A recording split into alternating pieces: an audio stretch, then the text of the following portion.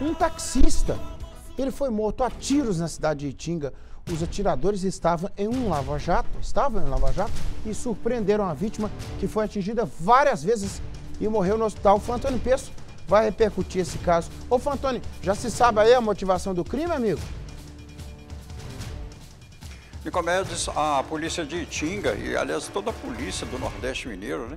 Está Itinga, Itaubim, Itaubim, Itinga, Araçuaí, a polícia está mobilizada para localizar os três homens responsáveis por esse crime. Eles foram identificados, mas ainda não foram presos. A situação em Nicomedes aconteceu quando a vítima, que é um taxista muito conhecido na cidade de Itinga, estava no Lava Jato e em determinado momento chegaram pelo menos duas pessoas e um deles, um desses, uma dessas pessoas que desembarcaram de uma moto, uma dessas pessoas perguntou, eh, chamou a pessoa pelo nome, é você? É. Aí já sacou a arma e efetuou pelo menos 10 disparos.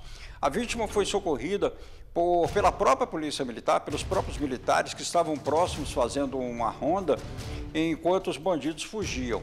A partir daí, Nicomedes, a vítima foi levada para a unidade de pronto atendimento em Tinga, transferida para Itaubim, mas infelizmente Nicomedes não resistiu e morreu.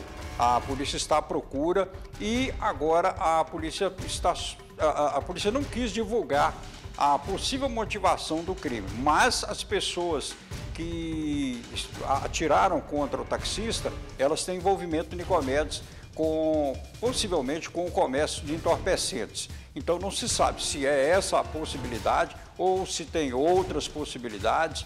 Vamos agora, Nicomedes, aguardar a, o avanço das investigações, porque esse relatório ainda não está concluído e a polícia também ainda não manifestou detalhes a respeito desse crime na cidade de Itinga, Nicomedes.